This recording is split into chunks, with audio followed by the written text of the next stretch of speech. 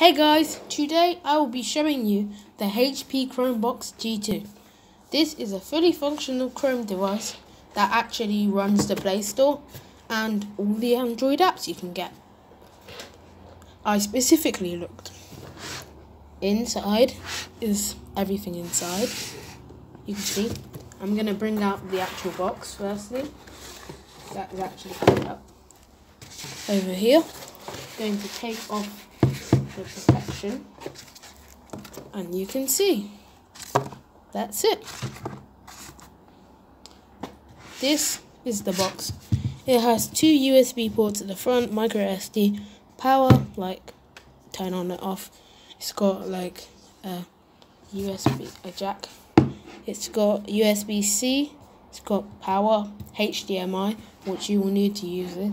Three extra USB ports and an Ethernet. You do not need the Ethernet because if it's a unless it, you're using a wired router, this comes with Wi-Fi support. So inside also is our bits of connection. When I first brought this out, I saw that I was like confused until I saw the extra bits, the second bits with the box. I don't usually like adapters. It's a computer, but sometimes you just got to compromise. Going to connect it like this. Going to push it in, and I'm just going to plug it together right now. I have connected it to power, and I'm going to get the other end of it. This is the plug. I'm going to plug it in to our nice port over here. Going to place it down because it has grips on the bottom. Going to plug it in here. Then you see the HDMI port right here. We will need HDMI. This is a relatively new thing. And literally all the Chromes now, they use HDMI with the exception of a majority of the Chrome, but the Chromebooks that don't. Then we have our HDMI. This is our HDMI display, some other stuff. And we're going to plug it in. Just for the record, I'm going to, along with it, plug in my wireless mouse. You can see it's light up now. It says connect a keyboard or mouse. If you are using Bluetooth devices, make sure your devices are ready to pair. So that it's just like started up now. I have my wireless mouse and my wired keyboard. Why get a wireless keyboard? Takes lots of batteries. And I'm just going to plug in my wireless mouse.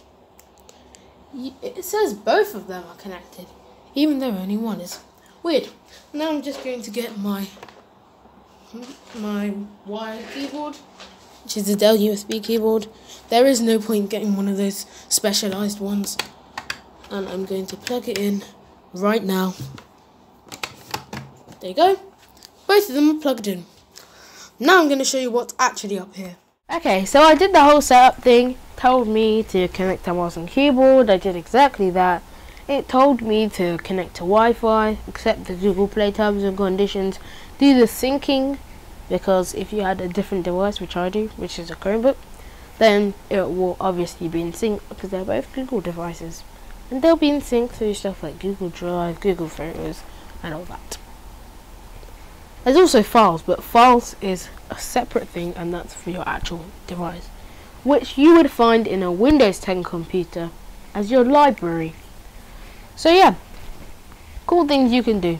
Firstly, you can go to Explore, Explores when you unlock the amazing capabilities of your Chromebook. You can learn how to lock and unlock your screen, which I'm not going to do it's going to stop. Anyway, anyway, so you can manage your apps. You can use the Google Duo. You can take and manage photos. You can reinstall default apps on your Chromebook. Bit weird. I don't use a Chromebook. This is a Chromebook. But yeah, they'll do that. Now, for a quick example, we're going to open the web store. We're going to open the Play Store. They're two different things, so don't be fooled. You get Play Store on your Android phone, on your Android tablet, but you don't get Web Store. Web Store, you can get extensions for Google Chrome, and you can also get apps for Chromebooks, Chromeboxes, Chromebases. Wait, Google Classroom in the Play Store. Takes 1 minute and 11 seconds to do it. For me, Google Classroom over here. Because I don't want to waste time, I just told you how long it took. But for this one, I'll just do it. Add to Chrome and you click add app and bingo, it's done. That quick. It will open it. I did do a timer for this thing about the Google Play thing. And it did take quite a long time. And they both need Wi-Fi. So if you want apps that use Wi-Fi but save space, you're looking for Web Store. And you can also find offline apps there and you can find them in both. If you want apps that have the proper Android functionality, then you're looking for Play Store. Which is cool. Also, there are a bunch of different apps you can use.